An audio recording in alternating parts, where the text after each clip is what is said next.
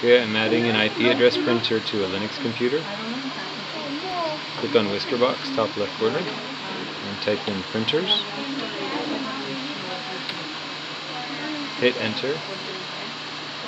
And now what we want to do is we want to add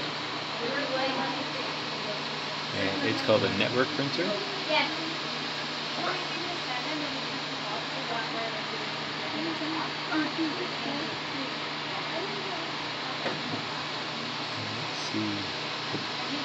Ah, so we're going to select down here the drop down menu is coming up. App socket HP jet. And then we're going to type in the IP address in the host section. So let's see if this works. So 10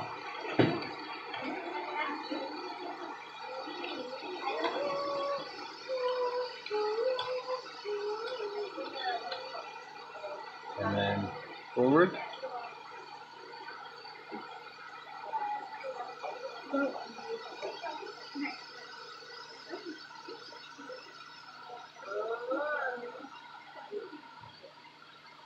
And then apply.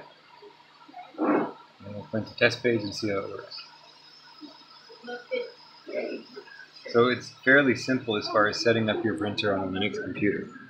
All you need to do is sign in to your tech account, bring up printers or search printers in your Whisker menu, click add, select HP Jet Direct in the app socket, and then make sure you type under host the IP address, and then click forward, forward until you get to the section where you can print a test page. And test page printed out, looks good.